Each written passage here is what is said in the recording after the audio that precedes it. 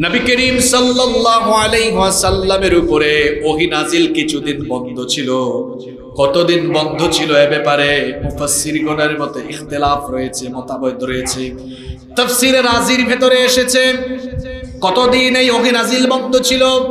কোন কোন মুফাসসির বলেছেন, বারো দিন বন্ধ ছিল, কেউ কেউ বলেছেন পনেরো দিন বন্ধ ছিল, কেউ কেউ বলেছেন পঁচিশ দিন বন্ধ ছিল, কেউ কেউ বলেছেন তিরিশ দিন, চল্লিশ দিন, পঁয়তাল্লিশ দিন। এভাবে ইখতলাফ করেছেন। মোট কথা হলো, নবী করিম সবাই আমার সঙ্গে মহব্বতে বলেন, সাল্লাল্লাহু আলাইহি ওয়াসাল্লামের উপরে কয়েকদিন অগি নাজিল বন্ধ ছিল। এই জন্য আমার আপনার নবী পেরেশান হয়ে গেলেন। আমার আপনার নবী চিন্তায় পড়ে গেলেন, কেন হঠাৎ করে? নবীজির কাছে জিব্রিল আসেন না, কেন নবীজির কাছে আয়াত নাজিল হয় না? আমার আপনার নবী চিন্তায় পড়ে গেলেন, পেরেশানিতে পড়ে গেলেন, এর মধ্যে কাফিরের গোষ্ঠী নবী করিম সাল্লাল্লাহু আলাইহি ওয়াসাল্লামকে নিয়ে আজে বাজে বিভিন্ন কথা বলতে লাগল। ঠাট্টা বিদ্রুপ করতে লাগল। আল্লাহ নবীর কাছে যখনই কোনো সূরা বা আয়াত নাজিল হতো, নবীজি সেগুলো মানুষের সামনে তেলাওয়াত করে শোনাতেন এবং মানুষকে তিনি কোরআনের দিকে দাওয়াত দিতেন। অল্প কয়েকদিন যখন অহি নাজিল বন্ধ, নবীজি আবার মক্কায় কারও সামনে নতুন আয়াত শোনান না, নতুন সুরাও শোনান না। কাফেররা চিন্তা করল, কি ব্যাপার? মোহাম্মদকে কি তার রব পরিত্যাগ করেছেন নাকি? তার রব কি তাকে ছেড়ে দিলেন নাকি? মোহাম্মদ কি একা হয়ে গেল নাকি? হাদিসের মধ্যে এসেছে, আবু তো আজিব্রিলু আলা রাসূলিল্লাহি সবাই আমার সঙ্গে পড়েন সাল্লাল্লাহু আলাইহি ওয়াসাল্লাম। জিব্রিল আমিন কয়েকদিন নবীজির কাছে আসলেন না। নবীজির কাছে ওহি নাজিল বন্ধ ছিল কয়েকদিন। ফাকাল আল মুশরিকুন। মুশরিকরা তখন বলল, কদ উদ্দিআ মুহাম্মদ। সবাই পড়েন সাল্লাল্লাহু আলাইহি ওয়াসাল্লাম মুহাম্মদকে তার রব পরিত্যাগ করেছেন। তারা এমন কথা বলতে লাগল। অপরদিকে নবীজির ঘরের পাশেই হলো আবুল আহাবের বাড়ি। আবুল আহাবের স্ত্রী নবী করিম সাল্লাল্লাহু আলাইহি ওয়াসাল্লামকে এসে আরও কঠিন কথা বলতে লাগল। সে বলল, ইয়া মুহাম্মদ তোমার কাছে কয়েকদিন নাকি তোমার শয়তানটা আসে না। বলেন, নাউজুবিল্লাহ, শুনলাম কয়েকদিন ধরে নাকি তোমার সাথে শয়তানের দেখা সাক্ষাৎ হয় না। অর্থাৎ সে বোঝাতে চাইল, জিব্রিল যে নবীজির কাছে আসেন, ওই জিব্রিল আল্লাহর ফেরেশতা নয়। সে বোঝাতে চাইল, শয়তানের সাথে নবীজির দেখা সাক্ষাৎ হয় না উজুবিল্লাহ এই রকম আজে বাজে কথা যখন তারা বলতে লাগল, মক্কার কাফেররা যখন বলতে লাগল, মোহাম্মদকে তার রব ছেড়ে দিয়েছেন, তার রব তার উপরে অসন্তুষ্ট হয়েছেন, তার রব তাকে পরিত্যাগ করেছেন। আল্লাহর নবীর দুশ্চিন্তা আরও বেড়ে গেল। আল্লাহর নবীর পেরেশানি যখন বেড়ে গেল আল্লাহ তালা তার হাবিবকে সান্ত্বনা দেওয়ার জন্য আল্লাহ তার হাবিবের হতাশা দূর করে দেওয়ার জন্য ফ্রাস্ট্রেশন দূর করার জন্য এই সূরা নাজিল করে দিলেন নাজিল হয়ে গেল والضحى والليل إذا سجى ما ودعك ربك وما قلى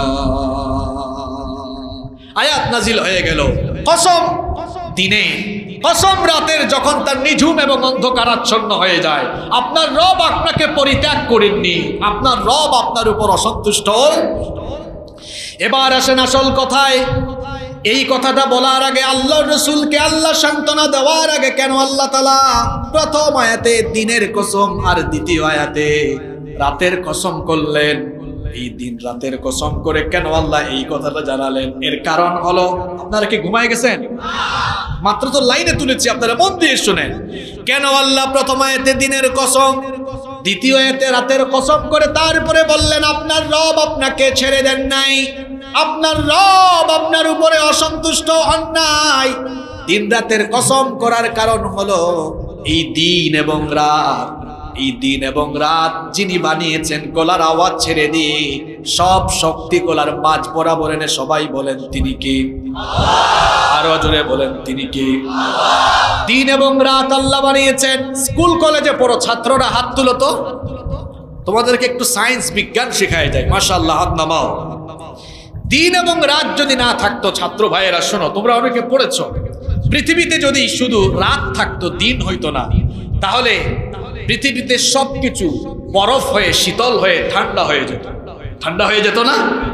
আবার যদি এক নাগারে শুধু দিন থাকতো, রাত না হতো, তাহলে দেখা যেত, দিনের বেলায় সূর্যের আলোতে সবকিছু উত্তপ্ত হয়ে, পৃথিবীর উত্তর মেরু, দক্ষিণ মেরু উত্তপ্ত হয়ে গিয়ে, তারপরে দেখা যেত সমুদ্র পৃষ্ঠের উচ্চতা বেড়ে গিয়ে, দুনিয়ার সবকিছু পানিতে ভেসে যেত। আবার রাতের বেলা যদি রাতের অন্ধকার না থাকে, তাহলে উদ্ভিদে উদ্ভিদের মধ্যে ফুল জন্মাবে না, ফসল ফলাবার জন্য উদ্ভিদগুলো উপযোগী হবে না।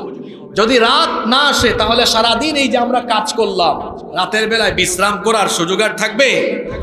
থাকবে না। এই জন্য দিন এবং রাত আল্লাহ বানিয়েছেন যাতে করে সৃষ্টিগুলোর মধ্যে একটা ব্যালেন্স থাকে, ভারসাম্য থাকে। এই জন্য দিন এবং রাত যিনি বানিয়েছেন, গলার আওয়াজ বড় করে সবাই বলেন, তিনি কে?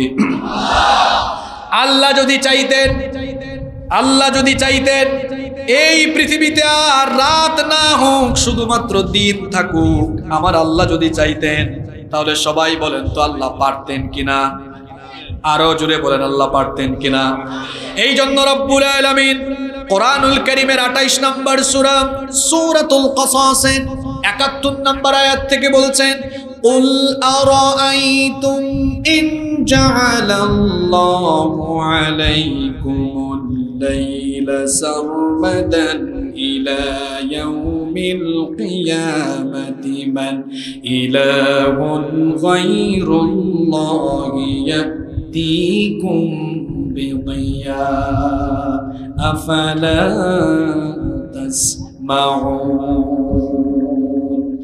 আল্লাহ তালা বলছেন অনবী আপনি এদেরকে বলে দিন, কখনো কি ভেবেছ, কখনো কি চিন্তা করেছ? আল্লাহ যদি কেমন পর্যন্ত রাত তোমাদের জন্য অবধারিত করে দেয়, তাহলে পৃথিবীতে আল্লাহ ছাড়া তোমাদের আর কোন মাহবুদ আছে বলো?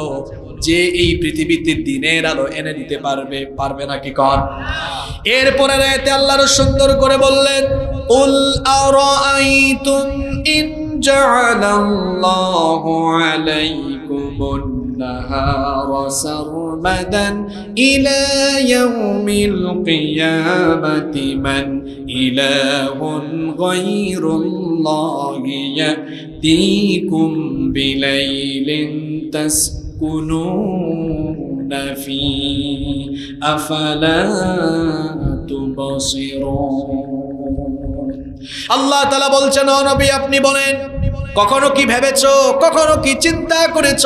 আল্লাহ যদি চান, দিনকে যদি তোমাদের জন্য কেমন পর্যন্ত অবধারিত বানিয়ে দেয় তো আল্লাহ ছাড়া কে এমন আছে যে তোমাদের জন্য রাতের এমন অন্ধকার এনে দিতে পারবে?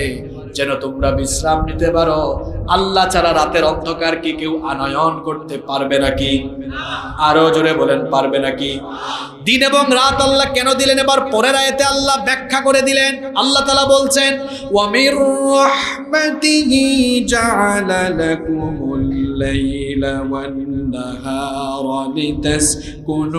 ফিহি ওয়া লিতাবতাগু মিন ফদ ولعلكم তাশকুরুন আল্লাহ তাআলা বলছেন এটা হচ্ছে তোমাদের উপর আল্লাহর রহমত আল্লাহর দয়া তিনি তোমাদের জন্য রাত আর দিন বানিয়েছেন যাতে করে দিনের বেলা তোমরা কাজ কাম করতে পারো, রিজিক তালাশ করতে পারো, আল্লাহর অনুগ্রহের সন্ধান করতে পারো।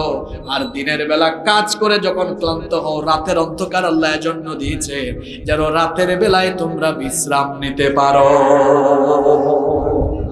এবার শোনেন, তাহলে সারাদিন কাজ করার পরে রেস্ট নেওয়ার জন্য এই রাত দিলেন কে? এবার আপনাদের প্রশ্ন হলো, হুজুর, তাহলে দিন রাতের কসম আল্লাহ কেন করেছেন? এবার শোনেন, দিন আর রাতের কসম আল্লাহ কেন করেছেন? সারাদিন কাজ শেষে ক্লান্ত হওয়ার পরে ক্লান্ত এই শরীরটাকে রেস্ট নেওয়ার জন্য যেমন বিশ্রামের দরকার, আল্লাহর নবীর কাছে যে ওহি নাজিল হয়, সবাই বলেন তো, এই ওহি নাজিল করছেন কে? আরও জোরে বলেন কে? ওহির একটা বুঝা আছে, ওহির একটা ওজন আছে, একটা ওয়েট আছে। ওহির এই ওজন এটা কিন্তু সাধারণ কোনো মানুষ এই ওজন নিতে পারবে না। ওহির এই ওজন নেওয়ার জন্য পয়গম্বরদেরকে বিশেষ এক ধরনের স্পেশালিটি যিনি দিয়েছেন, তিনি কে? নবীজির কাছে যখন ওহি নাজিল হতো, ওহির ভারে, ওহির বুঝায় নবীজির অবস্থা কেমন হতো শুনেন। সূরা মুজাম্মিল যদি আপনারা পড়েন, দেখবেন। কোরআনুল কারীমের 73 নম্বর সূরা সূরা মুজাম্মিলের 5 নম্বর আয়াতে আল্লাহ তাআলা বলেছেন ইন্না সানুলকি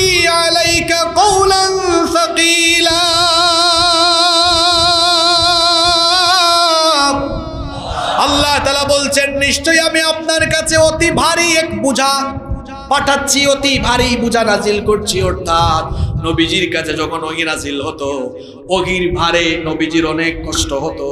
কতটা কষ্ট হতো শুনেন, আল্লাহর নবীর একজন জলিল কদর সাহাবি, প্রিয় একজন সাহাবি, জাইদ বিন সাবিত রাদিয়াল্লাহু আনহু তিনি বলছেন, রসুল করিম সাল্লাল্লাহু আলাইহি ওয়াসাল্লাম একবার আমার উরুর উপরে তার উরুটা রেখে ঠেস দিয়ে বসাছিলেন। এমন সময় আল্লাহর নবীর কাছে ওহি নাজিল আরম্ভ হলো। ওহি নাজিলের ভারী বুঝায় তখন আমি অনুভব করলাম, পুরু যেন একেবারে নিস্তেজ হয়ে যাচ্ছে। আল্লাহ আকবার! আবার আমাদের মা উম্মুল মুমিনিন আয়েশা রাদিয়াল্লাহু আনহা, তিনি বলেছেন, রাসূল করিম সাল্লাল্লাহু আলাইহি ওয়াসাল্লামের কাছে যখন নাজিল হতো। আমি দেখেছি আল্লাহর নবী ওহির সেই ভারী বোঝা সহ্য করতে তার এত কষ্ট হতো। বুখারীর বর্ণনায় হাদিস এসেছে, আম্মা জান আয়েশা রাদিয়াল্লাহু আনহা বলেছেন, লাকাদ রাআইতুহু ইয়ানজিলু আলাইহিল ওয়াহয়ু ফিল ইয়াউমিশ শাদীদিল বারদ, ফায়াফসিমু আনহু ওয়া ইন্না জাবিনাহু লা আরাফা আম্মা জান আয়েশা রাদিয়াল্লাহু আনহা বলেছেন, কঠিন শীতের দিনে আমি দেখেছি নবীজির উপর যখন ওহি নাজিল হতো, ওহির ভারী বুঝায় কঠিন শীতের দিনেও আল্লাহর নবীর কপাল গেমে ঘাম বের হয়ে যেত। এই রকম এক নাগারে যদি ওহির ভারী বুঝা নবীজির উপর নাজিল হয় তো প্রাথমিক অবস্থায় নবীজির জন্য কষ্ট হয়ে যাবে। এই জন্য ওহি নাজিলের যে বুঝা আছে, কষ্ট আছে, এটা যেন নবীজি ধীরে ধীরে অভ্যস্ত হন। এই জন্য এক নাগারে আল্লাহ ওহি নাজিল করলেন না। ওহি নাজিল করার পর কিছু কিছু ব্রেক দেওয়া আল্লাহ আরম্ভ করলেন। ওহি নাজিলের ব্রেক বিরতিকালীন সময়ে কাফের মুশরিকরা বলা বলি করল, মোহাম্মদকে তার রব পরিত্যাগ করেছেন। আল্লাহ ওয়াদ্দুহা ওয়াল্লাইলি ইদা সাজা। দিন আর রাতের কসম করে কাফিরদের জবাব দিলেন। কাফিররা শোনো সারা দিন কাজ করার পরে রাতের অন্ধকারে যেমন সব মানুষগুলো বিশ্রামে যায়, ঠিক তেমনি ভাবে আমার হাবিবের উপরে এক নাগারে হলে দাওয়াতি ময়দানে তার ভারসাম্য থাকবে না। দাওয়াত দিতে কষ্ট হবে, তিনি কষ্ট অনুভব করবেন তার কষ্টটাকে লাঘব করার জন্য ওহি নাজিলের ব্রেক আমি দিয়েছি। আর আমি আমি জানিয়ে দিলাম, আমি আমার হাবিবকে পরিত্যাগ করি নাই। আমার হাবিবের উপর আমি অসন্তুষ্ট হই নাই। মা ওয়া মা আমার হাবিবকে আমি ছেড়েও দেই নাই, তার উপরে অসন্তুষ্ট হয় না। আরও আসতে বলেন, সুবহানাল্লাহ। এইভাবে আল্লাহ তাআলা তার হাবিবের আল্লাহ তাআলা তার হাবিবকে সান্ত্বনা দিয়ে দিলেন। এবার আমার বাবা, আমার বাবারা, আমার ভাইয়েরা শুনেন, আল্লাহর নবীর কাছে এই কোরআন নাজিল হওয়া কয়েকদিন বন্ধ ছিল, আল্লাহর নবী পেরেশান। ও বাবারা, ও স্কুল, কলেজের ভাইয়েরা, যুবক ভাইরা, তরুণ ভাইয়েরা, শোনো। আমার আপনার নবীর কাছে কয়েকটা দিন কোরআন নাজিল হয় নাই, নবীজি পেরেশান। সেই নবীর উম্মত আমি আর আপনি মাসের পর মাস চলে যাই, কোরআন পড়ি না, কোরআন বুঝি না। আমরা কোরআন শুদ্ধ করে পড়তেও পারি না, কিন্তু শয়তানের ওয়াসওয়াসা এমন জীবন আমার আপনার হয়েছে, একটা দিন আমাদের আফসোসও লাগে না। বলেন তো, এ ধরনের মানুষ আমাদের আশপাশে আছে না নাই? সুতরাং আজকের সুরা দুহার আলোচনার থেকে প্রথম শিক্ষা, প্রথম মেসেজ আমি আমার ভাইদেরকে, বোনদেরকে, বাবাদেরকে, মাদেরকে দিতে চাই। আল্লাহর নবীর কাছে অল্প কয়েকদিন অহিনাজিল বন্ধ ছিল। আল্লাহর নবী পেরেশান হয়ে গেলেন। আপনি যে মাসের পর মাস কোরআন পড়েন না, কোরআনটা বুঝেন না। কোরআনের আন্দোলনে সামিল হন না। কোরআনের আদর্শ, কোরআন বিরোধীরা দুনিয়ার জমিন থেকে ভুলন্টিত করে দেয় আপনার দিল। একটু আফসোস করে না, আপনার মধ্যে একটু হতাশাও জাগে না, খারাপও লাগে না, কষ্টও লাগে না, এ কেমন জীবন আপনার? আবার আমরা তো অনেকেই আছি, কোরআনের আন্দোলনে সামিল হওয়া তো দূরের কথা। কোরআন এখনও বিশুদ্ধভাবে আমরা পড়তে পারি না। কোরআন শুদ্ধ করে পড়তে পারে না এমন কি তার খারাপও লাগে না, এমন মানুষও আমাদের মাঝে আছে না নাই? ও আমার যুবক, তরুণ ছাত্র ভাইয়েরা, শোনো খবরদার খবরদার খবরদার আমার ভাইয়েরা, কোরআন না শিখে দুনিয়া থেকে বিদায় হয় না, নইলে কিন্তু পরিণতি বড় ভয়াবহ হয়ে যাবে। কেয়ামতের মাঠে আমাদের নাজাতের জন্য আমাদের নবীজির সুপারিশের সাফায়াতের দরকার আছে না নাই? আরও জুড়ে বলেন, আছে না নাই? দুনিয়া থেকে কোরআন না শিখে, কোরআন না বুঝে, কোরআনওয়ালা না হয়ে বিদায় নেবে যারা? নবীজির সুপারিশ থেকে বঞ্চিত হয়ে যাবে তারা। খুব ভালো করে শুনেন, ভয়াবহ আয়াত শোনাচ্ছি। কোরআনুল করিমের পঁচিশ নম্বর সুরাম সুরাতুল ফুরকানের তিরিশ নম্বর আয়তে রব্বুল আলামিন বলছেন وقال الرسول يا رب إن قوم اتخذوا هذا القرآن مهجورا আল্লাহ তালা বলছেন কেয়ামতের দিন রসুল কিছু লোকদের বিরুদ্ধে দাঁড়িয়ে যাবেন কেয়ামতের মাঠে আল্লাহর নবী, কিছু মানুষের বিরুদ্ধে দাঁড়িয়ে আল্লাহর কাছে বলবেন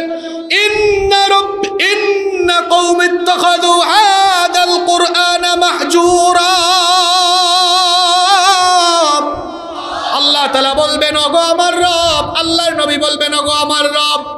আমার উম্মতের এই এই লোকগুলো দুনিয়াতে থাকা অবস্থায় কোরআনকে পরিত্যাগ করেছে। কোরআন পড়ে নাই, কোরআন বুঝে নাই, কোরআন মানে নাই। আমার উপর নাজিল হওয়া কিতাব সে পরিত্যাগ করার কারণে এই কপাল পুরাকে আজ হাসরের মাঠে আমি পরিত্যাগ করলাম। আল্লাহর নবী যদি কারও কাছ থেকে মুখ ফেরাইয়া নেন, তো কোন বাবা আর কোন নেতা আপনাকে বাঁচাবে? কেয়ামতের দিন নবীজির সুপারিশ ছাড়া বাঁচার আর কোনো উপায় কেয়ামতের দিন নবীজির সুপারিশ আমরা চাই কি চাই না? কারা কারা চান দু হাত তুলে আল্লাহকে দেখা? লিল্লাহি তাকবীর! লিল্লাহি তাকবীর! হাতগুলো নামা। তাহলে নবীজির সুপারিশ পেতে হলে এই কোরআন শিকার দরকার আছে না নাই? ও আমার বাবারা মহিলা প্যান্ডেলে থাকা আমার মায়েরা, আমার ভাইয়েরা, মহিলা প্যান্ডেলে থাকা আমার বোনেরা, সবাইকে বলছি শুনেন, কোরআন যদি না শিখেন, দুনিয়া এবং আখিরাতে সব মিলিয়ে মোট শাস্তি পাবেন তিনটা। আমার কথা বুঝে থাকলে সবাই বলেন, কোরআন যদি না শিখি তো আমি আর আপনি দুনিয়া আখিরাতে শাস্তি পাবো টোটাল কয়টা? কোরআন থেকে আপনাদেরকে শোনাচ্ছি, রব্বুল আলামিন কোরআনুল করিমের বিশ নম্বর সুরা, সূরাতুত তাহার একশত চব্বিশ নম্বর আয়াত থেকে বলছেন ওয়ামান আ'রাদা আন যিকরি ফাইন্না লাহু মাঈশাতান ضنكا ونحشره يوم القيامة أعمى আল্লাহ তালা বলছেন আর যারা আমার উপদেশ সম্বলিত এই কিতাব থেকে মুখ ফিরিয়ে নিবে فإن له معيشة ضنكا এক নাম্বার শাস্তি হলো আমি তার জীবনটাকে সংকীর্ণ বানিয়ে দিব মুফাসসিরিন কিরাম এই মাঈশাতান দনকার ব্যাখ্যায় লিখেছেন জীবনকে সংকীর্ণ করার অর্থ হবে দুইটা এক নাম্বার হলো যারা কোরআন শিখবে না। এদের জীবনে টাকা থাকলে, পয়সা থাকলে, নারী থাকলে, বাড়ি থাকলে, গাড়ি থাকলেও একটা জিনিস থাকবে না। সেটা হলো সুখ শান্তি তার কপালে থাকবে না। আমার বাবাজান, ভাইজানরা সবাই বলেন তো সুখ শান্তি কি টাকা দিয়ে পাওয়া যায় নাকি? আমি আমার নিজের এই ক্ষুদ্র জীবনে বহু মানুষ দেখেছি, আমাকে বলেছে, হুজুর, বহু টাকা আছে, আমার হিসাব নাই কত সম্পদ। রাতের বেলা আমি বিছানায় পিঠ ঠেকালে, বালিশে মাথা ঠেকালে, আমার ঘুম আসে না। আহারে, এমন বহু মানুষ আমাদের আশেপাশে আছে না নাই? তাহলে বোঝা গেল টাকা পয়সার সম্পদ থাকলেই রাতের ঘুম কিনা যায় না। ঘুম, মনের প্রশান্তি আর সুখ হচ্ছে কার দেয়া নেয়ামত এই আয়াতটা আপনারা একটু গবেষণা করে সমাজের সাথে মিলাইয়া দেখেন তো। সত্যি সত্যি দেখবেন যাদের জীবনে কোরআন নাই, এদের কপালে কোনো সুখ নাই। এদের দেখবেন সুন্দরী বউ আছে কিন্তু আরেকজনের সাথে পরকিয়া করে। এদের টাকা পয়সা আছে কিন্তু ছেলে মেয়েগুলো হয়ে যায় ইয়াবা খুর, গাঁজা খুর। দেখা যায় এদের অনেক সম্পদ আছে কিন্তু এমন বড় বড় রোগ আছে, খাইতে পারে না, শুধু মাউন্ট এলিজাবেথে যাওয়া লাগে। তাহলে বোঝা গেল, যার জীবনে কোরআন নাই, তার কপালে ছাত্র ভাইরা শোনো, তোমার জীবনে যদি কোরআন না থাকে, পড়াশোনা করে পিএইচডি শেষ করে তুমি অনেক বড় ডিগ্রি নিবা। ওই যে জাফর ইকবাল সারের মতো পরে বলবা যে, মানুষ মনে হয় মানুষের আগের জাত বান্দরের জাত ছিল। তো যারা এত পড়াশোনা গবেষণা করতে করতে মাথার মাঝখানের সব চুল পড়ে গেছে, তাদেরকে বলব তোমরা যদি সত্যি বিশ্বাস করো, মানুষের পূর্বপুরুষ বান্দর ছিল, তো মানুষের জাত আমাদের সাথে বাস করো কেন? তোমাদের জাতি ভাইদের সাথে গিয়ে থাকার জন্য। হয় কোনো জঙ্গল খুঁজো, নইলে সুন্দরবনে গিয়ে বসবাস করো। মানুষ হলো মানুষের জাত। আমরা এসেছি আদম থেকে, মানুষকে খুব মহব্বত করে, দয়া করে বানিয়েছেন কে? ছাত্র ভাইদেরকে বলছি, আগে কোরআন শিখো। সুন্দর করে ইংরেজিতে কথা বলতে পারো তো কি হয়েছে? ইংরেজিতে সুন্দর করে কথা বলতে পারো, এটা তোমার ক্রেডিট নয়। গিয়ে দেখো তুমি, গিয়ে দেখো তুমি, ইংরেজ অনেক দেশ আছে যারা টয়লেট ক্লিনাররাও সুন্দর করে ইংরেজিতে কথা বলতে পারে। আমার বাড়িতে হলো সিলেটে, আমার অনেক অনেক রিলেটিভরা লন্ডনে থাকে। অনেক রিলেটিভ লন্ডনে থাকে, অত বেশি পড়াশোনা করে নাই, কিন্তু দেখেছি তারাও যে স্মার্টলি ইংরেজিতে কথা বলে, সুন্দর করে ইংরেজিতে কথা বলতে পারায়। ক্রেডিট নয়। মুসলমান হিসাবে কোরআন পড়া, কোরআন বোঝা কোরআনের পথে চলতে পারা, এটাই হলো আসল সৌভাগ্য, ঠিক কিনা? এই জন্য কোরআন না শিখলে কপালে সুখ থাকবে না। এটা হুজুরের কথা না আল্লাহর কথা। মুফাসসিরগণ দুই নম্বর ব্যাখ্যা দিয়েছেন এই মাই সাতান ব্যাখ্যায় বলেছেন, ওই লোকটার কবরকে সংকীর্ণ বানানো হবে। অনেক মানুষ আছে আমাদের সিলেটে আছে, ঢাকা, চিটংয়ে আছে। জানি না আপনাদের এলাকায় আছে কিনা, জায়গা জমি নিয়ে ঠেলাঠেলি করে। দেখা যায় নিজের আইল, ঠেলাইতে ঠেলাইতে আরেকজনের আইলের ভিতরে ঢুকাইয়া দেয়। এইরকম মানুষ অবশ্য আপনাদের শিবগঞ্জে নাই। এই যে জায়গা জমি নিয়ে তো মারামারি করে মানুষের জায়গা দখল করে, এই ধরনের দখলদারি স্বভাবের মানুষ সব জায়গায় কম বেশি আছে।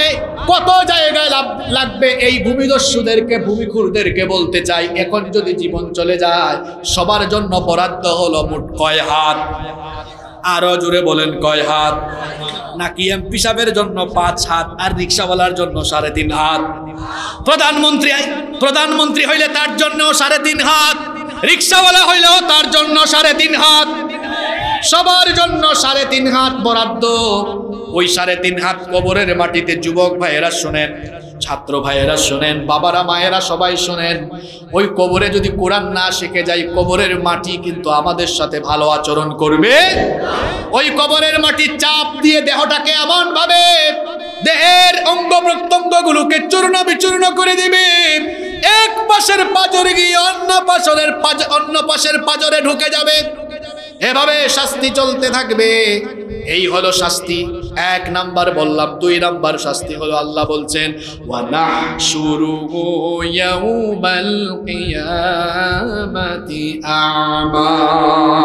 একদিন ইসরাফিল সিংহায় ফু দিবেন লন্ড ভন্ড হয়ে গিয়ে সব কিছু শেষ হয়ে কেয়ামতের ঘটনা ঘটবে। সেই দিন আমাকে, আপনাকে সবাইকে কবর থেকে যিনি উঠাবেন তিনি কি?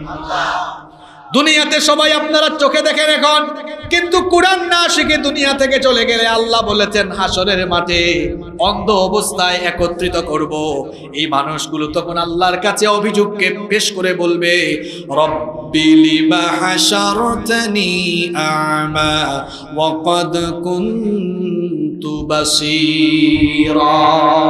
তারা বলবে, ওগো আল্লাহ, মহাস্থানের মানুষ আমরা শিবগঞ্জ বগুড়ার মানুষ আমরা, চশমা ছাড়াও চোখে দেখতাম। লিমা হাসারতানি আমা, রব তুমি আমাকে অন্ধ করে দিয়েছ কেন? ওয়াকাদ কুনতু বাসীরা। আমি তো চক্ষুষ্মান ছিলাম কেন অন্ধ বানিয়ে দিলে? জবাব দিবেন যিনি তিনি কে? আল্লাহ বলবেন, কাযালিকা আতাতকা আয়াতুনা ফানাসিতাহা ওয়া কাযালিকা আল-ইয়াওমা তুনসা। আল্লাহ তালা বলবেন হ্যাঁ আমার বান্দা হ্যাঁ আমার বান্দি শুন। তুই যতদিন দুনিয়ায় ছিলে, দুনিয়াতে থাকা অবস্থায় তোর ঘরে কোরআন ছিল, চক্ষু দিয়ে ইংরেজি পড়লি, বাংলা পড়লি, সব দেখলি, সব পড়লি, কিন্তু চক্ষু দিলাম আমি। আমার দেওয়া চক্ষু দিয়ে আমার কিতাব কোরআন পড়লি না। এই জন্য আমি তোকে আজ অন্ধ বানায়া দিলাম। আর তিন নাম্বার শাস্তি তোর জন্য হলো, দুনিয়াতে থাকা অবস্থায় তুই যেভাবে আমার কোরআন ভুলে গিয়েছিলে, আজ হাসরের মাঠে আমি আল্লাহ তোর মতো গুলামকেও ভুলে গেলাম। কে বাঁচাবে আপনাকে আর? কে রক্ষা করবে আর? নবীজিও মুখ ফেরায় দিলেন, আল্লাহও মুখ ফেরায় দিলেন। আমি বলছিলাম, আমার রসুলের কাছে কয়েকদিন কুরআন নাজিল বন্ধ ছিল। নবীজি পেরেশান। কেন জিব্রিল আসে না? কেন কুরআন নাজিল হয় না? ওই নবীর উম্মত আপনি। দিনের পর দিন যায়, মাসের পর মাস যায়, কুরআন পড়েন না, খারাপ লাগে না। কুরআন শিখেন নাই, তাও আপনার একটু আফসোস লাগে না। ঠিক কি না ঠিক বলে চলে গেলে চলবে না। যুবকরা সিদ্ধান্ত নাও। আগামীকাল যদি বেঁচে থাকো, আগামীকাল থেকে কোরআন শিক্ষা করার জন্য যেখানে যার কাছে দেওয়া দরকার, যাবা। ইনশা আর চাচা জানরা জীবনের বহু সময় তো কাটায় ফেলছেন বাবারা। হ্যাঁ এক চাচা মুরব্বী মানুষ সুপ্রিম কোর্ট থেকে ইংরেজিতে চিঠি এসেছে। রাত বারোটার সময় এক লোক দিয়ে গেছে, চাচা, ধরেন আপনার একটা চিঠি আসছে, আমি দিতে পারি নাই সঠিক সময়, দিয়ে গেলাম। চাচা, গ্রামের মানুষ চাষাবাদ করেন, ইংরেজি জানেন না। এখন রাত বারোটায় চিঠি হাতে পাইছে। সুপ্রিম কোর্টের চিঠি না জানি আবার গ্রেফতার হয়ে যায় কিনা, একটা দুশ্চিন্তা। পাশের বাড়ির ছেলে রাজশাহী ইউনিভার্সিটিতে, ঢাকা ইউনিভার্সিটিতে পড়ে। ভাতিজাকে রাত সাড়ে বারোটায় গিয়ে ডাক দিছে। ভাতিজা আব্দুল কুদ্দুস, চাচা, এত রাতে কি ব্যাপার? বাজান ওঠো। এটা চিঠি নিয়ে এসেছি। তাড়াতাড়ি ওঠো। বাবা, সকালবেলা আসিও যাও। এত রাতে আসছো কেন? সকালে পড়ে আরে বেটা, ওঠ। সকালে পাইতেও পারিস, নাও পাইতে পারিস। তো চাচা, আপনি ইংরেজি একটা চিঠি বুঝার জন্য গভীর রাতে আরেকজনের বাড়িতে দৌড়াইতে পারেন। আল্লাহ যে এই কিতাব আপনার জান্নাতে যাওয়ার জন্য নাজিল করলেন। এটা পারেন না শিখার জন্য। চল্লিশ, পঞ্চাশ, ষাট বছরে কত সময় কার কাছে গিয়েছেন নিজের বিবেককে আজ প্রশ্ন করুন। আমার বাবারা, ভাইয়েরা, মায়েরা, বোনেরা, সবাইকে বলছি, এই কোরআন শিক্ষা ছাড়া আমরা আলোকিত হতে পারব? সোনা দোহার, এই প্রথম তিনটা আয়াতের আলোচনা থেকে আসুন, এই শিক্ষা, এই শিক্ষাটা নেই। এই পেরেশানি নিয়ে বাড়িতে যাই, এই পেরেশানিটা নিয়ে। আমাদের কাছে তো জিব্রিল আসবে। কথা বলেন না কেন, আসবে? আসবে না, কিন্তু আমাদের জীবন পরিবর্তনের জন্য কোরআন দিয়েছেন কে? এটা শিখলাম না, এই পেরেশানি নিয়ে বাড়িতে যান, আর আগামীকাল থেকে কোরআন শিক্ষা শুরু করুন, ইনশা এরপরের দুইটা এতে আল্লাহ তার হাবিবকে আরও দুইটা সুসংবাদ দিলেন। আপনাদের মনোযোগ আছে নাকি? চলে গেছে। হ্যাঁ? ঘুমাই গেছেন নাকি? ওই পেছনের লোকরা ঘুমায় আছে। সামনের লোকেরা একটা তাকবির দিয়া পেছনের এদেরকে জাগায় দেন। লিল্লাহি তাকবীর। এই পাশের এরা দেয় নাই। লিল্লাহি তাকবীর।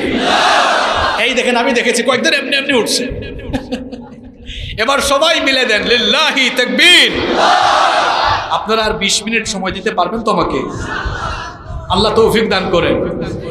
এরপরের দুইটা এতে আল্লাহ তার হাবিবকে আরও দুইটা সুসংবাদ দিলেন। আল্লাহ তালা বললেন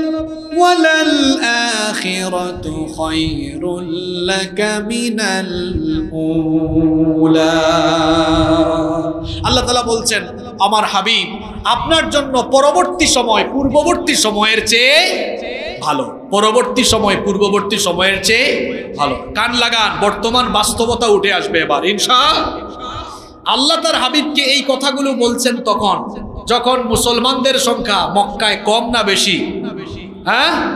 কয়েকজন লোক ইসলাম গ্রহণ করেছে। আল্লাহর নবী চল্লিশ বছর বয়স থেকে যখন দাওয়াত দিলেন, দাওয়াত দেওয়ার আগ পর্যন্ত তিনি ছিলেন আল আমিন তিনি ছিলেন সবার কাছে বিশ্বস্ত সত্যবাদী আমানতদার। কিন্তু যখন থেকে কোরআনের দাওয়াত দেওয়া আরম্ভ করলেন যারাই নবীজিকে বলেছে, আল আমিন তারাই নবীজিকে বলল, পাগল তারাই নবীজিকে বলল, জাদুকর তারাই বলল, মিথ্যাবাদী কাফের মুশরিকদের উত্তরসূরিরা কোরআন বিরোধীরা এখনও দুনিয়ায় আছে। যারা এখনও নবীদের উত্তরসূরি আলেমদেরকে সত্য কথা হক কথা বলার কারণে ওই কোরআন বিরোধীদের মতো একই কায়দায় অপবাদ দিয়ে দিয়ে আলেমদেরকে ধর্ষণকারী লুণ্ঠনকারী, জঙ্গিবাদী বানা এগুলো এই যুগের নতুন বিষয় না।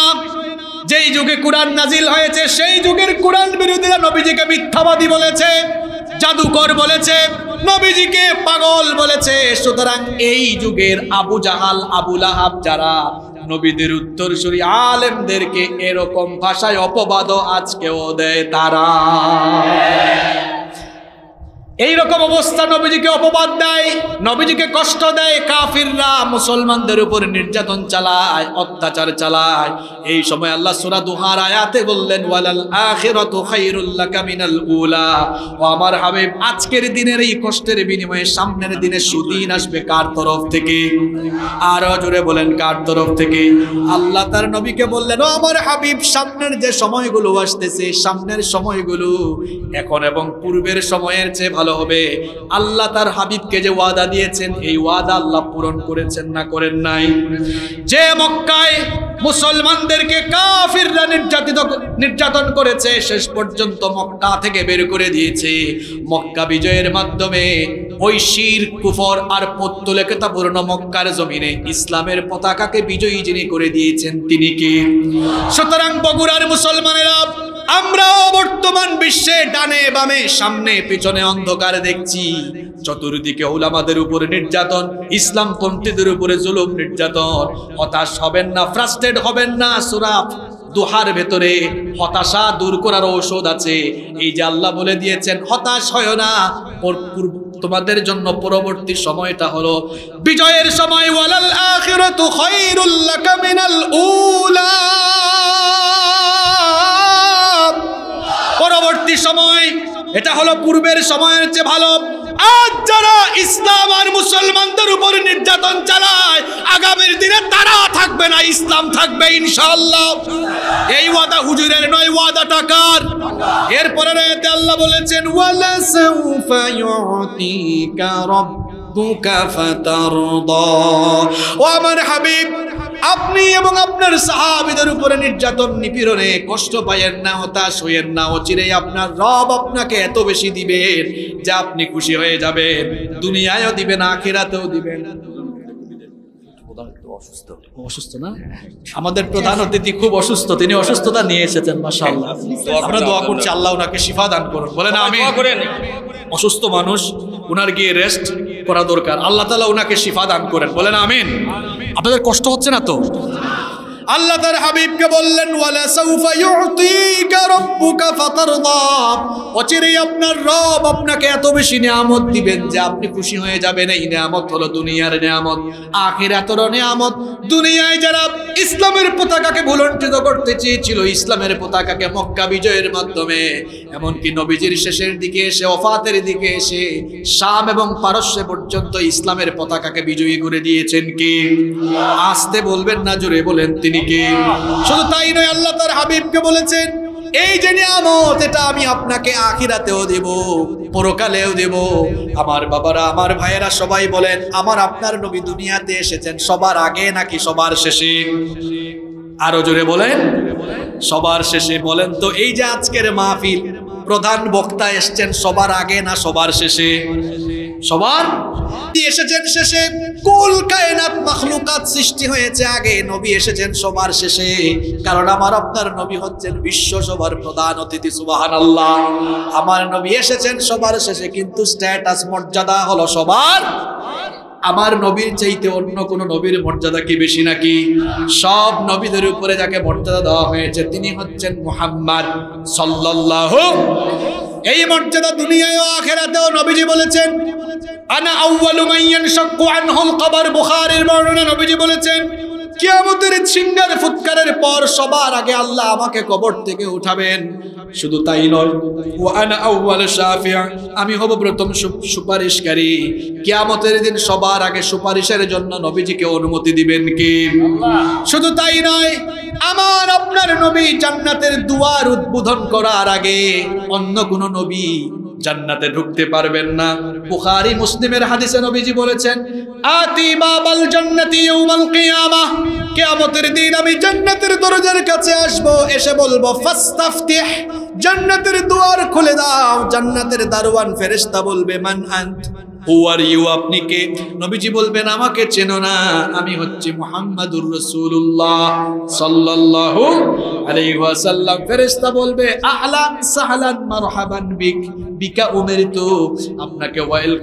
আপনার জন্যই তো হাজার হাজার বছর ধরে আমি অপেক্ষমান আল্লাহ আমাকে আদেশ দিয়েছেন, আপনি আসার আগ পর্যন্ত যেন জান্নাতের দুয়ার না খুলি। আল্লাহ বলেছেন, আজকে আপনার মাধ্যমেই জান্নাতের দুয়ার খুলে উদ্বোধন করা হবে। এখন নবী যদি আগে জান্নাত উদ্বোধন করেন, আর নবী যদি আগে জান্নাতে চলে যান, তো আমরা বেজার। আমরা খুশি না বেজার? কি বলেন খুশি? আমি তো বেজার। নবী আমাকে ফেলে কেন জান্নাতে যাবেন এটা মানেন আপনারা? হতাশ হবেন না, নবীর দাম যেমন বেশি, উম্মত হিসাবে আমাদের দাম কম না বেশি। আমার নবী বলেছেন, আমি জান্নাতের দুয়ার খোলার পরে অন্য নবী অন্য কোন নবীর উম্মত জান্নাতে ঢুকবে না ততক্ষণ। তোমরা জান্নাতে ঢুকো না যতক্ষণ। অর্থাৎ কিয়ামতের দিন সবার আগে আমার উম্মত জান্নাতে ঢুকবে। এই যে আল্লাহ বলেছেন নবী, আমি আপনাকে অচিরেই এত নেয়ামত দিব যে আপনি সন্তুষ্ট হয়ে যাবেন। নবীজিকে দুনিয়া আখেরাতে এমন সম্মান মর্যাদা দিয়েছেন যিনি সবাই গলার আওয়াজ বড় করে বলেন, তিনি কি? আরও জোরে বলেন, তিনি কি? কষ্ট হচ্ছে। এরপরে আল্লাহ তার হাবিবকে তিনটি নিয়ামতের কথা স্মরণ করে দিয়েছেন। জোরে বলেন কয়টা কয়টা? তিনটা নেয়ামতের কথা স্মরণ করিয়েছেন। আল্লাহ তার হাবিবকে বলছেন, কি করে আমি আপনাকে ছেড়ে দিব? কি করে আমি আপনার উপর অসন্তুষ্ট হব গো আমার হাবিব? আমি কি একদম সেই শিশুকাল থেকে আপনাকে নেয়ামত দেই নাই? আল্লাহ পরের আয়াতগুলোতে নেয়ামতের কথা স্মরণ করিয়ে দিয়েছেন। আল্লাহ তালা বললেন, আলাম ইয়াজিদকা ইয়াতীমান ফাআওয়া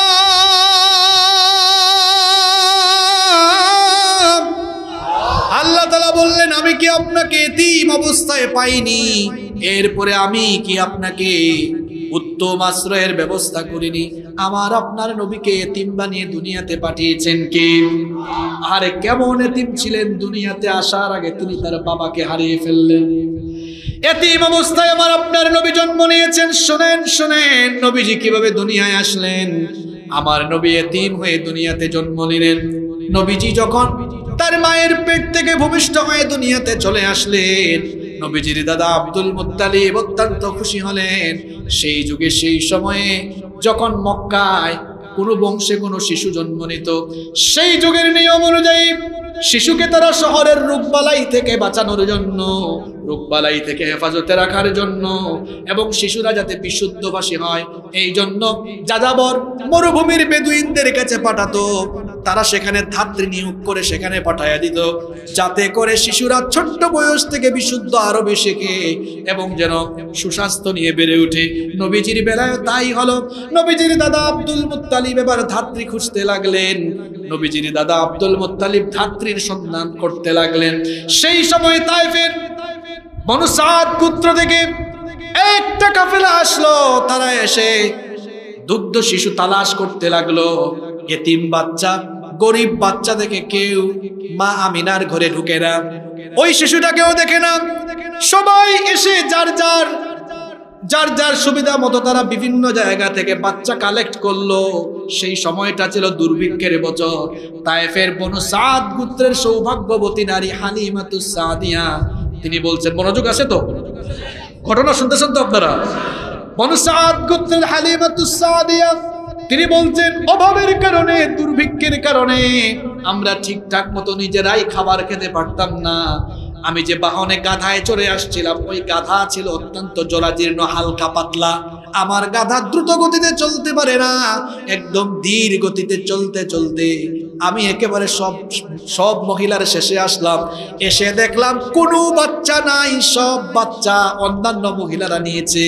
এমন সময় আব্দুল মুত্তালিব বললেন আমার এই ঘরে একটা এতিম বাচ্চা আছে যদি মন চাই তো ঘরে যাও, গিয়ে তিন বাচ্চাটাকে দেখো। বেশি টাকা পয়সা দিব না, মন চাইলে নিয়ে যেতে পারো। ভাগ্যবতী এই নারী তিনি তার স্বামীর সাথে পরামর্শ করলেন। আমরা এসেছি সবার শেষে, কোনো বাচ্চা কাচ্চা পেলাম না। খালি হাতে বাড়ি চলে যাওয়ার চাইতে এই এতিম বাচ্চাটাকে চলেন দেখি, দেখলে মায়া লাগলে তারপরে নিয়ে যাব। স্বামীর সঙ্গে পরামর্শ করে তিনি যখন এই সিদ্ধান্ত নিয়ে, তারপরে তিনি যখন মা মেনার ঘরে প্রবেশ করলেন, মা মেনার ঘরে প্রবেশ করে তিনি যখন শিশু মোহাম্মদুর রসুল্লাহ সাল্লাল্লাহু আলাইহি ওয়াসাল্লামের চেহারার দিকে নজর করলেন, চেহারার দিকে নজর করে কুলে যখন নিলেন তিনি বললেন আমার কাছে মনে হলো যেন আকাশের পূর্ণিমার চাঁদ আমার কুলে চলে এসেছে এজন্য আরবের একজন কবিতার কবিতায় বড় সুন্দর লিখেছেন কবি বলছেন ওয়া আহসানু মিনকা লাম তারা কাত্তু আইনি ওয়া আজমালু মিনকা লাম তালিদিন নিসা خلقت مبرأ من كل عيب كأنك قد خلقت كما تشاء কবি কত সুন্দর করে বলছেন আপনার মতো সুন্দর কাউকে কোনো চোখ কখনো দেখে নাই। আপনার চেয়ে সুন্দর কোনো, আপনার চেয়ে সুন্দর কাউকে পৃথিবীর কোনো নারী কখনো জন্ম দেয় নাই। আপনি সব দুষ্ত্রুটি থেকে মুক্ত হয়ে জন্ম নিয়েছেন এমন ভাবে আপনি জন্ম নিয়েছেন, যেন আপনি যেমনটা চেয়েছেন, আপনার রব ঠিক তেমনটাই আপনাকে বানিয়েছেন। আর এইদিকে আমার জাতীয় কবি কত সুন্দর করে লিখলেন, তোরা দেখে যা আমি না মায়ের কোলে। পারেন না আপনারা? যুবক ভাইরা পারেন পারেন। দেখেন, আমি জাতীয় কবির খুব ভক্ত। কেন এত ভক্ত? কারণ তিনি এত সুন্দর সুন্দর কবিতা না আমার নবীর সারে লিখেছেন। এই লোকটা মরার আগে কবিতাও লিখেছে। মসজিদেরই পাশে আমায় কবর দিও ভাই, যেন গুরে থেকেও মুয়াজিনের আজান শুনতে পাই। মসজিদেরই পাশে আমায় কবর দিও ভাই। আল্লাহ আকবার। ওনার কবরটা মসজিদের পাশে আছে না নাই? আমরা আজকের মাহফিল থেকে দোয়া করছি। আল্লাহ নবীর সামনে এতগুলো কবিতা নাত লিখেছে। আল্লাহ, এর জন্য তুমি তার উপর খুশি হয়ে যাও। আর কবরটাকে জান্নাতুল ফেরদাউস বানিয়ে দাও। কি সুন্দর আমার জাতীয় কবি লিখেছেন, তোরা দেখে যা আমি না মায়ের কোলে, তোরা দেখে যা আমি না মায়ের কোলে মধু পূর্ণিমারি সেথা চাঁদ দোলে, যেন উষার কোলে রাঙা রবি দোলে, তোরা দেখে যা আমি না মায়ের কোলে, কুল মখলুকে আজি ধ্বনি উঠে কে এলো ওই, কালেমা শাহাদাতের বাণী ঠোঁটে কে এলো ওই?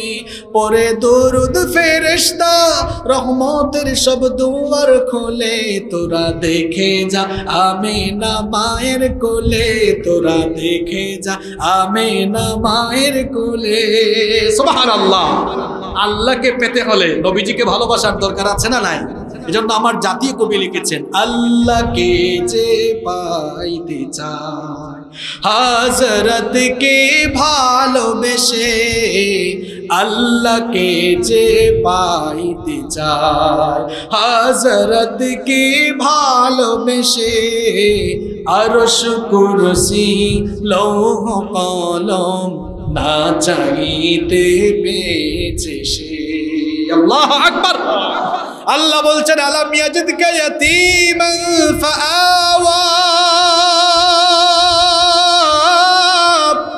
ও আমি কি আপনাকে এতিম অবস্থায় পাইনি? তারপরে আমি কি আপনাকে আশ্রয়ের ব্যবস্থা করিনি?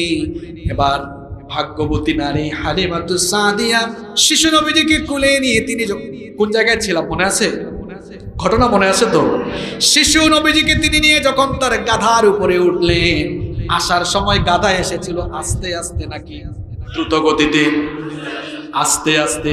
কারণ গাধা ছিল জোড়াজীর্ণ এবার তিনি যখন নবীজিকে নিয়ে গাধার উপরে উঠলেন নবীজির বরকতে কি হলো দেখেন।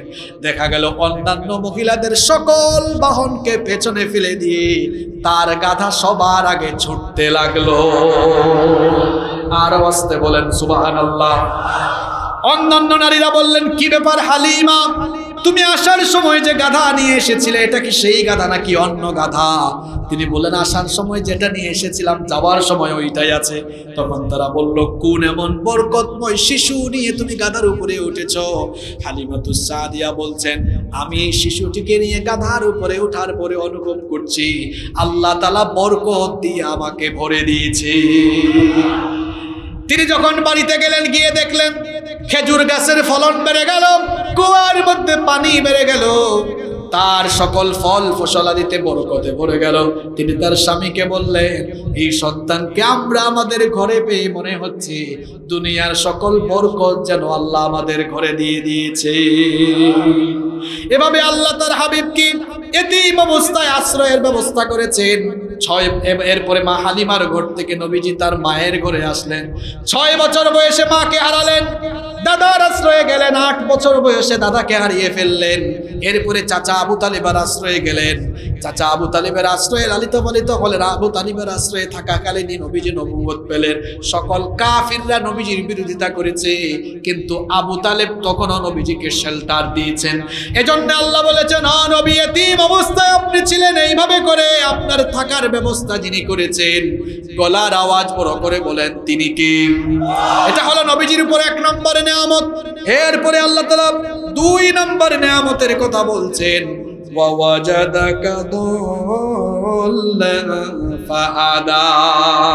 আমি আপনাকে পথ হারা পেয়েছি, আমি আপনাকে পথের দিশা দিয়েছি। দল্লান মানে পথভ্রষ্ট নয়, দল্লান শব্দের আরেকটা অর্থ হলো যিনি পথ সম্পর্কে গাফেল, নবীজি গুমরা ছিলেন না, পথভ্রষ্ট ছিলেন না। কারণ নবুয়তের পর্যন্ত, দাওয়াতি কাজ রাখ পর্যন্ত সকল প্রকার শির কুফর মূর্তি পূজা এবং পৌত্তলিকতা থেকে জাহিলি কুসংস্কার থেকে আমার আপনার নবীকে, যিনি হেফাজত করেছেন, তিনি কে? আরও জোরে বলেন, তিনি কে? নবীজি দেখলেন গোটা জাহিলি সমাজ ব্যবস্থা অন্ধকারে নিমজ্জিত, এদেরকে আলোর দিকে নিয়ে আসার রাস্তা তিনি জানেন না। এজন্য আল্লাহ বলছেন, মা কুনতা তাদরি মাল কিতাবু আল্লাহ তাআলা সূরা সূরার মধ্যে বলেছেন, ও নবী, আপনি জানতেন না, ঈমান কি? কিতাব কি? এই কিতাব আমি আপনার আপনার উপর নাজিল করেছি।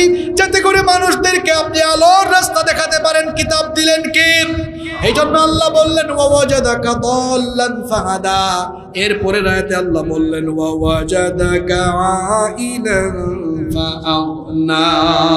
আমি আপনাকে নিঃস্ব অবস্থায় পেয়েছি। আমি আপনাকে ঐশ্বর্যশালী করেছি। নবী করিম সাল্লাল্লাহু আলাইহি ওয়াসাল্লাম বাবা থেকে অল্প কিছু ধন সম্পদ পেয়েছিলেন।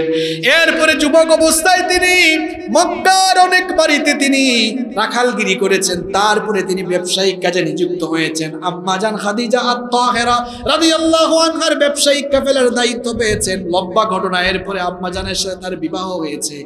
বিবাহের পরে তিনি আম্মাজানের ব্যবসায়িক সম্পদগুলো দিয়ে ব্যবসা করে অনেক লাভবান হয়েছেন। বরকত দিয়েছেন কি?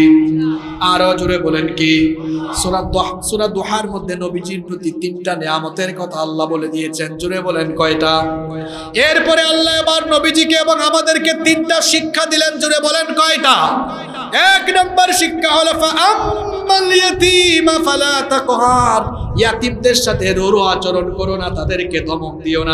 আমাদের সমাজে অনেক বলেন তো আছে অনেকে আছে আবার ইয়াতিমের মাল চুরি করে ফেলে, ইয়াতিমের মাল ভক্ষণ করে। অবশ্যই এই ধরনের শেষরা চোর আমাদের সমাজে নাই। ভাইয়ের ছেলে, ভাইয়ের মেয়ে, ভাই মারা গিয়েছে, ছেলে মেয়ে রেখে আপন ভাই। তার ভাইয়ের ধন সম্পদ নিজে খেয়ে ফেলে, তার ভাতিজা ভাতিজিকে দেয় না। এতিমগুলোকে বঞ্চিত করে এই ধরনের ডাকাত আমাদের সমাজে আছে না নাই? আল্লাহ বলেছেন, খবরদার ইয়াতিমদের সাথে রুরু আচরণ করো না। অন্যায়তে আল্লাহ বলেছেন, ইয়াতিমের মাল পেটে ঢুকায় যারা জাহান নামের আগুন খায় তারা। সুতরাং এতিমদের প্রতি রুরু আচরণ করা যাবে। নবীজি এতিম ছিলেন যে এতিমকে কষ্ট দেয়, সে তো নবীজিকেই কষ্ট দেয়। আর যে এতিমের লালন পালন করে নবীজি বলেছেন আনাওয়া কাফিলুল ইয়াতিম। কাহাতাইনি এই দুইটা আঙ্গুল একসাথে করে নবীজি বললেন, যে ব্যক্তি ইয়াতিমের দেখাশোনা করবে, ওই ব্যক্তি আর আমি কিয়ামতের দিন এভাবে একসাথে জান্নাতে থাকব। সুতরাং ইয়াতিমদের প্রতি দয়া, মমতা আমরা দেখাবো ইনসা এরপরে আল্লাহ বললেন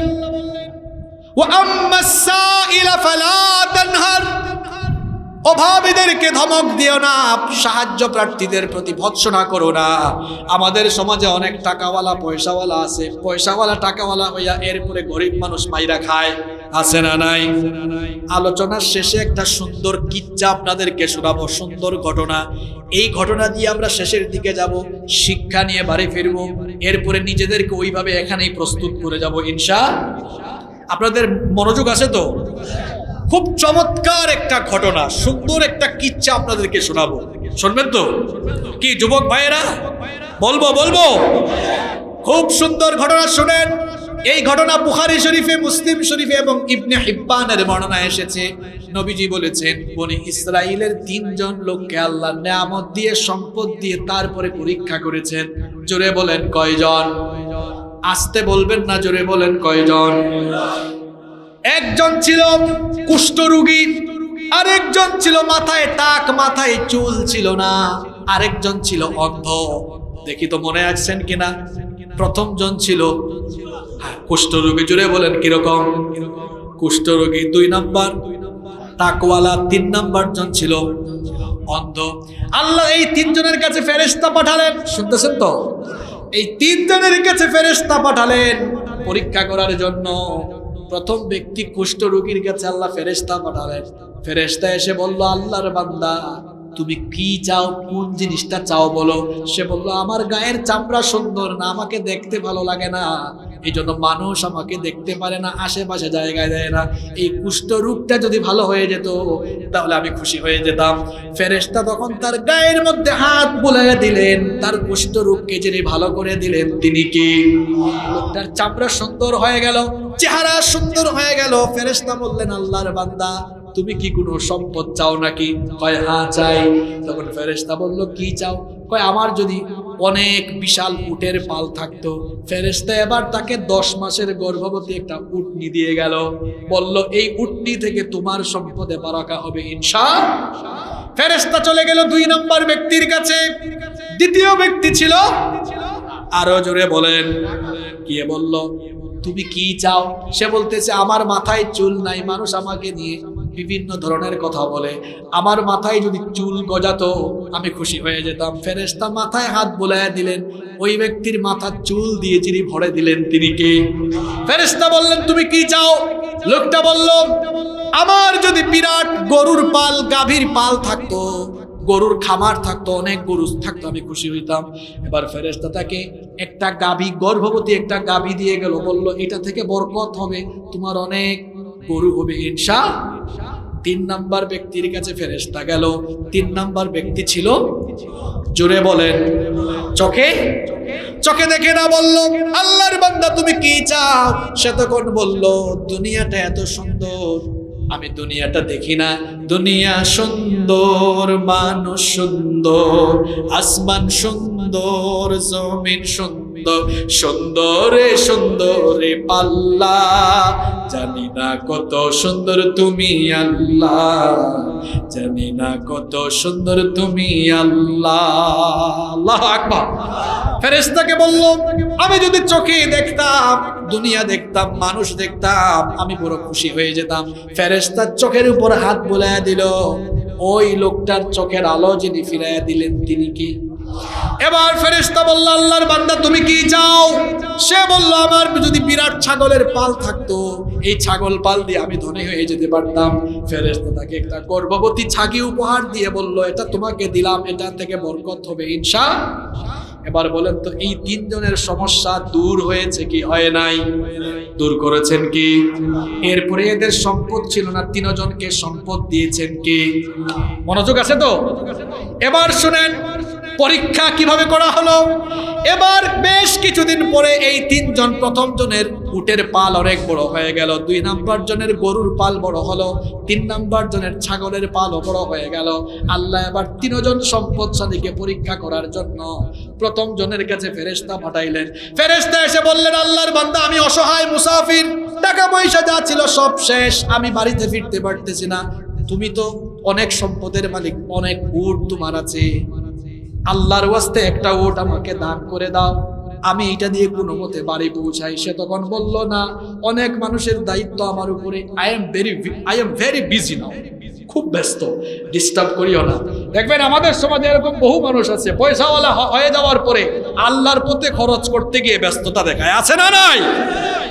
ব্যস্ততা দেখাল।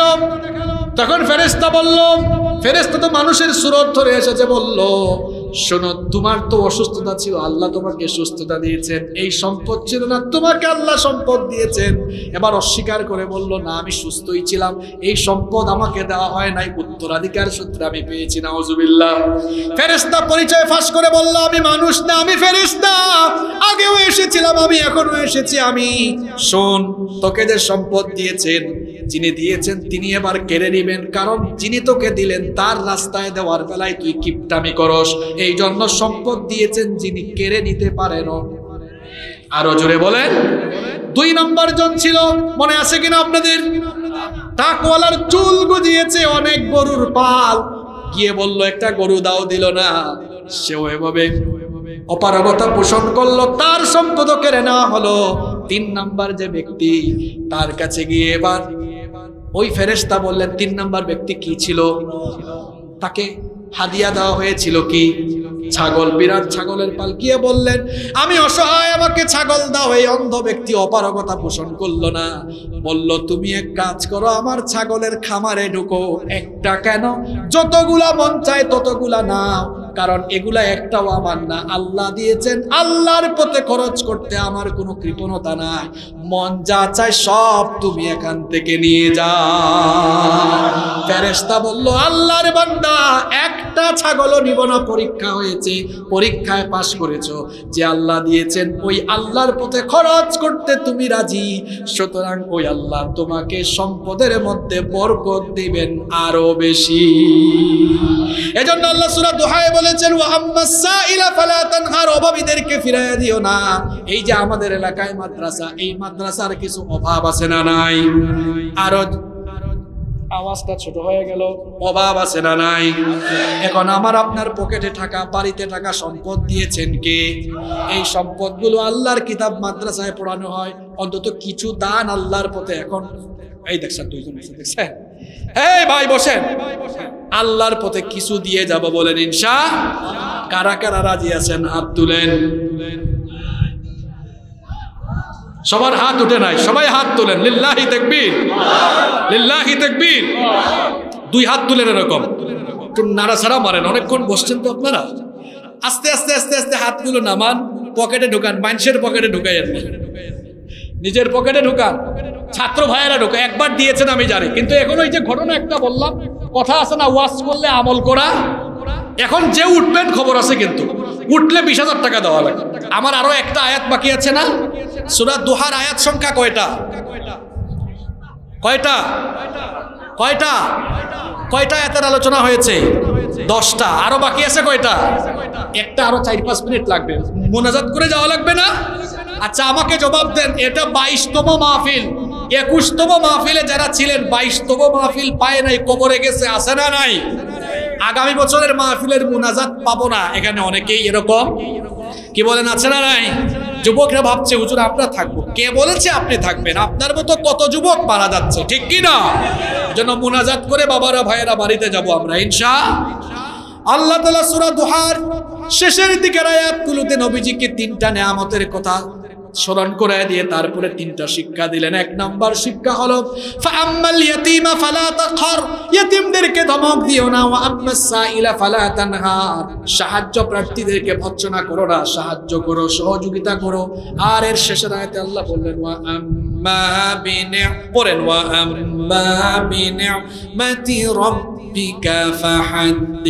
যে নিয়ামত দেওয়া হয়েছে সেই নিয়ামতগুলো বর্ণনা করো নিয়ামতের বই প্রকাশ ঘটাও, কারণ নিয়ামত যিনি দিয়েছেন তিনি কি? বলেন তো, আমাকে আপনাকে সমস্ত নিয়ামত দিয়েছেন কে? এই যে কথা বলছি, কথা বলার নিয়ামত দিয়েছেন কে? কত মানুষ কথা বলতে পারে না, চোখে দেখছি, চোখে দেখার নিয়ামত যিনি দিয়েছেন তিনি কে? সুতরাং আমরা যে দুনিয়ায় যত নিয়ামত পেয়েছি, নিয়ামতের জন্য সব সময় শুকরিয়া জানাব কার? আল্লাহ বলেছেন, লা ইন শাকারতুম লা আযীদান্নাকুম ওয়া ইন কাফারতুম ইন্না আযাবি লাশাদীদ শুকরিয়া করলে নিয়ামত বাড়ায়া দিবেন কে? এই হচ্ছে সুরা দোহা থেকে সংক্ষিপ্ত আলোচনা। বাবারা ভাইরা এই সুরা থেকে আপনারা কি শিখলেন? এক নাম্বার। এ যুবকরা শোনো, তোমাদের লাইফে হতাশা আর হতাশা। মেয়েদের পিছনে ঘুরে ঘুরে তোমরা হতাশ হয়েছ। মোমেন কখনো হতাশ হতে পারে না। সুরা এই দুহা হচ্ছে হতাশা দূর করার ঔষধ। আল্লাহ তাআলা তার হাবিবের কাছে আয়াত নাজিল করেছেন, নবী, হতাশ হচ্ছেন কেন? কাফেররা আপনাকে নিয়ে ঠাট্টা মস্করা করে আজকের দিন কাফেরদের, আগামের দিন ইসলামের দিন, ইনশাআল্লাহ। আজকে যাদের রোগ আছে, কষ্ট আছে, দুঃখ আছে, আপনারা হতাশ হবেন না। এটা আল্লাহর তরফ থেকে মুসিবত। কষ্টের সাথে সুখ আসবে ইনশা। চতুর্দিকে নির্যাতন, নিপীড়ন, ইসলাম ওয়ালাদেরকে একদম একচটিয়া করে ফেলা হচ্ছে। ভয় পাবেন না। আগামীর দিনে যে সূর্য উঠবে, ওই সূর্য ইসলামের সূর্য উঠবে ইনশাআল্লাহ। আমরা এই সূরা থেকে এই শিক্ষা নিয়ে বাড়ি যাচ্ছি। তারপরে দুই নম্বর হচ্ছে, আমরা আরও কিছু শিক্ষা নিয়ে বাড়ি যাচ্ছি। এতিমদের প্রতি, অসহায়দের প্রতি আমরা কখনো রুরু আচরণ করব? যুবক ভাইরা মানুষকে মানুষের উপকার করবা, মানুষের সেবা করবা, যখন যেখানে সুযোগ পাবো, আমরা কোরআনের পক্ষে থাকব, কোরআনের পক্ষে কথা বলব। আল্লাহ আমাদের সবাইকে কোরআনের জন্য কবুল করে